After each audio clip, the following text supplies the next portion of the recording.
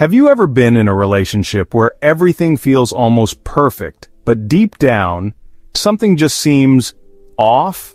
You can't quite put your finger on it, but your instincts are telling you that something isn't right.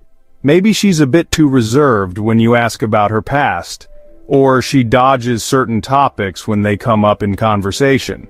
If you're in this situation, it's important to trust your gut.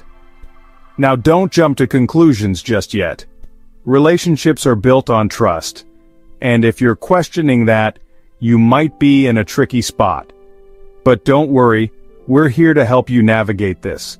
If you're wondering whether she might have a more complicated past than she's letting on, there are a few signs you can look out for, and remember, this isn't about judging her, it's about making sure you're both on the same page and headed towards a healthy, committed relationship.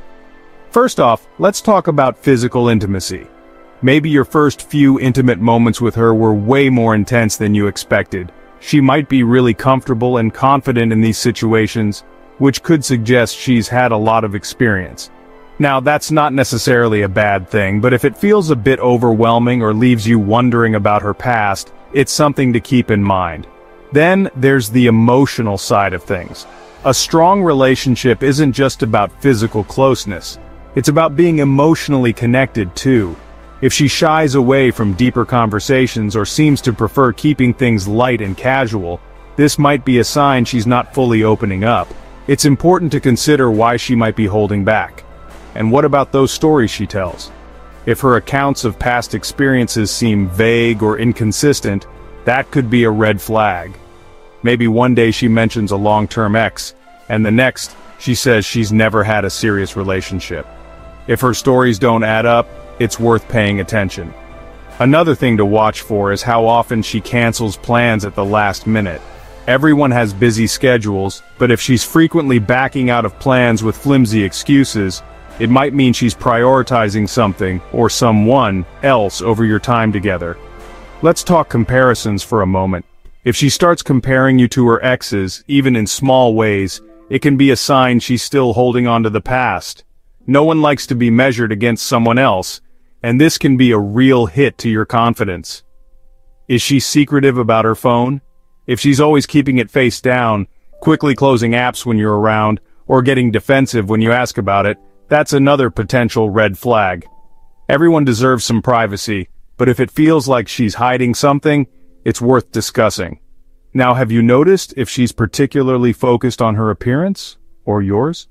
While it's normal to want to look good, an unusual obsession with physical appearance could indicate that past relationships have made her overly concerned with superficial things. If she's more interested in looks than in deeper connection, that might be something to explore.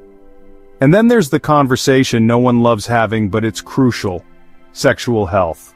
If she's avoiding this topic, it could mean she's uncomfortable discussing her past, or doesn't want to disclose certain details. This is one of those must-have conversations to ensure you're both on the same page.